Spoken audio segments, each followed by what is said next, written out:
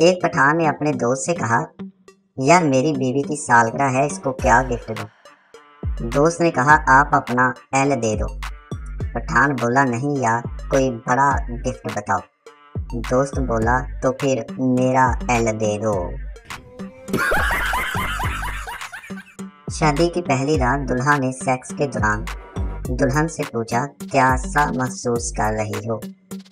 दुल्हन बोली, आपने तो मुझे कॉलेज के दिन याद करवा दिए। एक सरदार की बीवी शादी के बाद पहली बार अपनी माँ के घर जा रही थी। सरदार ने उसकी पैकिंग देखी तो उसमें कंडम भी पड़े हुए थे। सरदार बोला, यार, मेरी बीवी कितनी बोली है।